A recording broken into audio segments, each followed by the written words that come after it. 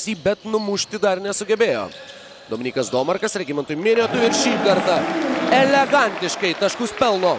Čia jisai rungtyniavo dar praėjusiame sezone. Regimantas Minėtas iš aikštės kampo.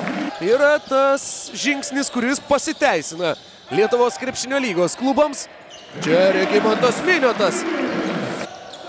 Šis krepšininkas čia dar viena klaida. Elvarą Friedrichsoną tiesiog kankina. Prienusi, bet gynybo Regimantas Minėtas.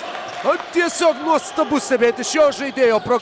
Dominikas Domarkas randa būdą įmest kamuolį Regimantui Minėtui ir Regimantas Minėtas tiesiog dominuoja aikštėje ne tik šiose rungtynėse su gerokai geresnė savijauta, bet gimusiomis viltimis Regimantas Minėtas 20 taškų pirmoje rungtynių pusėje.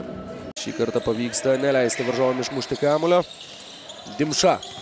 Dar kartą Minėtui Minėtas gražus jo metimas sukantis per kai.